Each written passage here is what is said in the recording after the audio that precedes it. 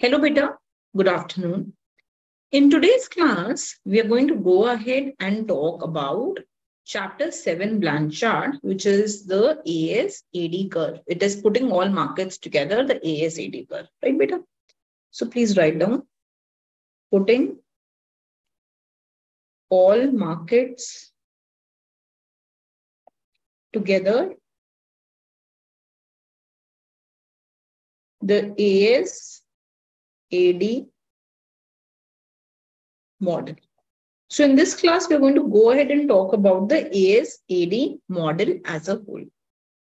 But first of all, try and remember what is the wage determination equation that we had learned. The wage determination equation. So how do we determine the wages?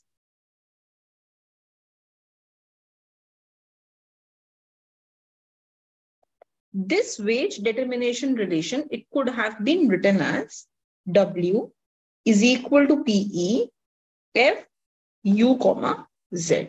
And beta. So we said that wages, they depend on expected price, they depend on unemployment rate, and they depend on the catch-all variable. This is coming from chapter 6, bache, that I have taught you. Okay. Then the other thing that we talked about that was the price determination relationship.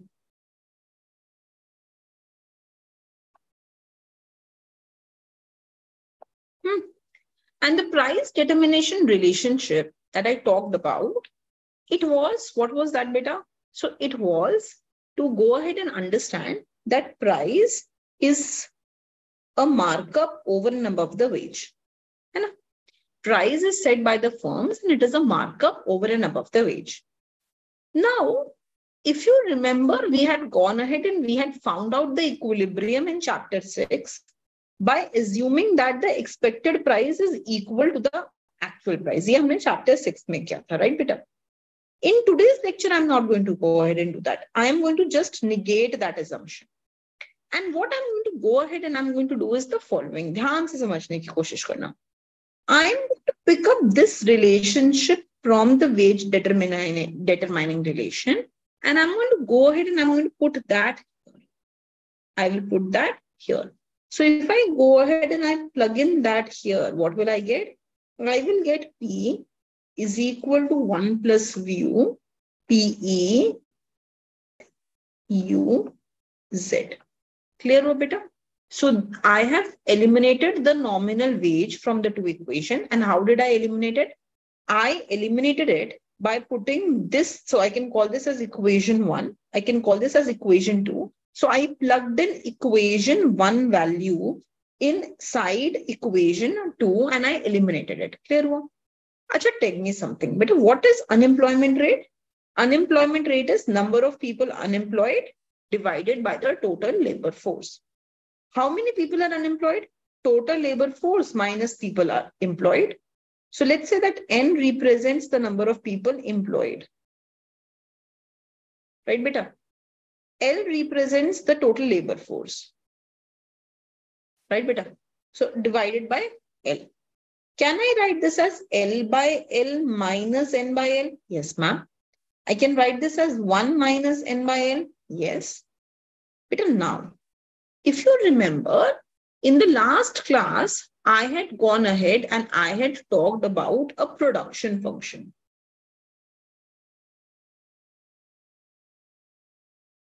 What was that production function? Production function said that output will be A into N. यही तो था. Output was one-on-one -on -one with the labor. So N was representing the number of people employed. And we said that output will directly be affected by the number of people employed. And A was my technology, but I had taken this A as 1. So when I took this A as 1, I had got Y is equal to N. तो जितने लोग employed होंगे उतना ही output produce होगा the number of the amount of output that will be created will be equal to the number of people employed so, but can I replace this n with l because y is equal to n? I can do that. So what will I get from here? I will get this is equal to 1 minus y by l. So from here, what do I achieve? I achieve u is equal to 1 minus y by L. So I have been able to derive a relationship between unemployment and output. Is this clear? Okay. Now just try to think about this a bit more further. But if we think about it, we should understand that there is a negative sign outside the value of y. Can you see this negative sign? This negative sign, it tells us that these two, unemployment rate and output, they are negatively related to each other. Unemployment rate and output, they are negatively related to each other. Clear way beta? What does this mean? Very simple. But if output will increase, if production will increase, you will need more people for it. Dekho, agar ye badega, to ye automatically badega. So when output increases, the number of people I will employ will increase. When the number of people I employ increase, the number of people unemployed will automatically decrease. So can I go ahead and say that the higher the output, the lower the unemployment rate? if more output is to be produced, when output increases, employment increases. If employment increases, unemployment decreases. So unemployment rate also decreases. So less people will be unemployed. Clear hui baat? Okay. Now, what, what do I want to do? So I want to go back to this relationship beta. And from this relationship, what I want to do is, I have just now derived u in terms of y. u ko y ke terms mein se likha na, u is equal to 1 minus y by l. So I have just now derived u in terms of y. I just want to put that there, beta. So what will happen? P is equal to PE 1 plus mu F. And instead of u, यहाँ पे जो u है ना हमारा, instead of that u beta, I am going to write this entire thing. So I will have 1 minus y by L, comma, z. Is this clear? Okay. So now what I have been able to do, but I have been able to derive a relationship between P and Y. Between P and Y. Clear हुई बात? अच्छा. Can u tell me through our earlier information, but what is the relationship between you and inflation? We know that unemployment rate and inflation are negatively related to each other. This also is clear to us, will be clear to us through the chapter, next chapter that we have done, which is the Phillips curve. The Phillips curve tells us that unemployment rate and inflation are negatively related to each other. एक और तरीके से सोचने की कोशिश करते हैं See, when there is higher unemployment जब unemployment बहुत ज्यादा होती है then the bargaining power falls people are not able to bargain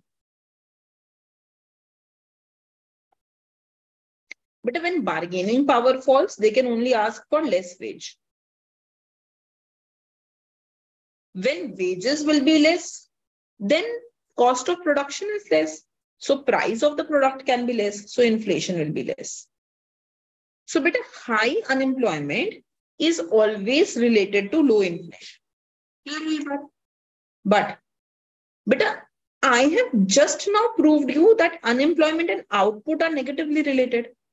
जब आउटपुट ज़्यादा होता है तो एम्प्लॉयमेंट ज़्यादा होती है तो अनएम्प्लॉयमेंट कम होती है so unemployment and output they are negatively related to each other so what have we proved we have proved that if there is higher unemployment, matlab U zyada hai, but what does that mean? There will be lower output. So Y will be less.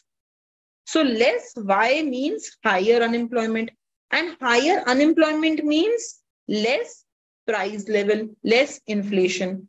सो बेटा इनको अगर मैं combine करूं what is the relationship I am getting between output and inflation I am going ahead and I am getting a negative relationship, uh, a positive relationship between output and inflation. Output or inflation के बीच में direct relationship है. You see this? They are moving in the same direction. So I can go ahead and say that Y and P are directly related. Y and P are directly related. But this is nothing but the AS curve. The AS curve gives me relationship between the output and the price. That at what level of price I want to supply, what level of the output. So just see here. If I take level of price as P1, then beta my output level is Y1. If I take level of price as P2, then beta my output level is Y2. If the price increases, if the price at which firm can sell its output, जिस price पे firm अपना output बेच सकते हैं अगर वो price बढ़ जाएगा if the out if the price will increase firm will be willing to cell more output So can I say there is a positive relationship between P and Y? Yes, ma'am, we can say that. So that means that this is going to be upward sloping AS curve. So, but this equation that u have here, this this is giving me that same relationship. But don't go by this negative sign. Na na. This negative sign, it represented you na. ये तो U की जगह पर आया है. And unemployment and P have an inverse relationship. है कि नहीं है? So, beta, if U and P have an inverse relationship, and U and Y also are negatively related, तो P or Y तो positively related होगा है ना? Let me repeat this. Try to understand. Instead of U, instead of U beta, I wrote 1 minus Y by M. U and P they have inverse relation. U and Y also have inverse relation. समझो बात को. This is what I proved कि जब by बढ़ता है तो unemployment कम हो जाती है। U and Y have inverse relation so बेटा U and P they are inversely related तो सपोज़ यू इंक्रीजेस तो पी गिर जाएगा। U and Y are also inversely related so बेटा when unemployment increases output will also decrease तो इससे can't I say that they are directly related I can so बेटा P and Y they have a direct relationship in this equation. And this equation itself, but this is called as the AS curve. Its derivation can come in exam. So this is known as the AS relation. I hope all of you are clear with it. So now my AS curve, it has been a two important properties. There are two properties that your AS curve has. Okay. Property number one. The first property, it is related to what happens as uh, the derivation of the AS curve. Matlab ki, what is the movement around the AS curve. So what does